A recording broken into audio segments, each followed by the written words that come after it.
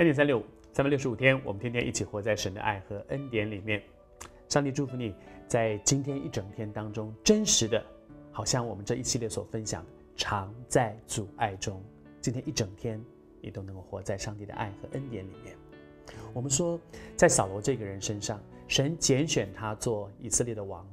虽然从人来看，有一些人怎么看这个人，扫罗有很好的条件，他的家世、他的背景、他的外在条件都很棒，但是在神的恩典当中，神说他不像人看这些外在的条件，神看的是他的内心。扫罗这个人被拣选，他里面一定也有很多的条件，是神说这个人就是他。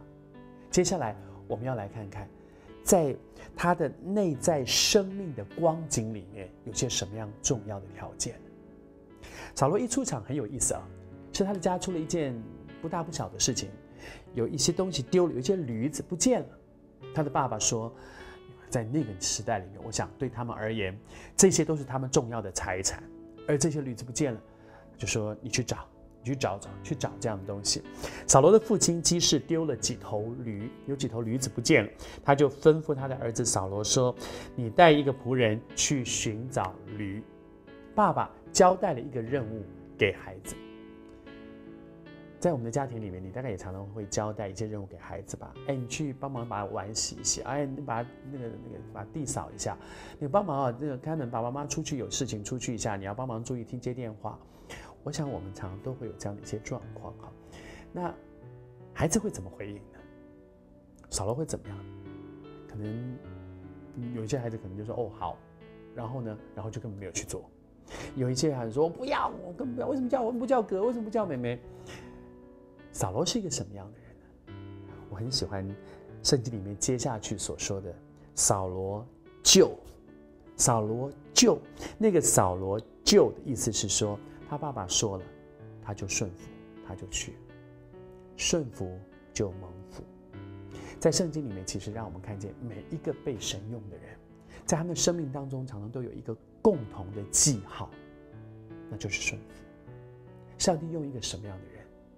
上帝说：“听命胜于献祭，顺从胜于公羊的脂油。”说：“哇，我我很愿意献祭，我要把很多我觉得很好的东西给神。”神说：“你觉得很好的，可是我觉得更重要的是你听不听我的命令。”神说：“顺服比你觉得很好的这些东西更重要。”在我们的生命当中，你会不会也会觉得说：“我其实很愿意啊，我很愿意服侍神，我很愿意唱诗班，我很愿意去参加诗班，我很愿意参加敬拜团，我很愿意教主日学，我很愿意做这个做那个，我很愿意服侍上帝。”可是上帝说：“嗯，可是这些不是我要的。”那你愿不愿意为我去去扫厕所呢？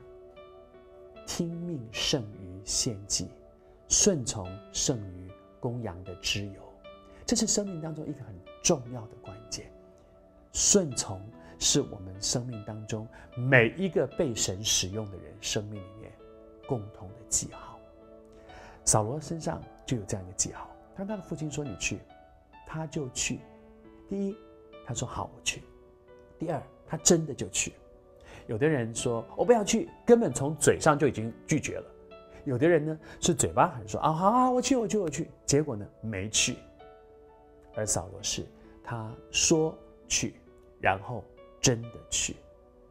这是神拣选扫罗的第一个，我们家身上可以看到的榜样。你知道吗？我还是要说，扫罗很帅，扫罗很健壮，很俊美。个头很高，在以色列当中没有一个人选得上他，那些都是他外在很棒的一些条件。但是神说，那些条件不是我看的，我看的是他生命里面的光景。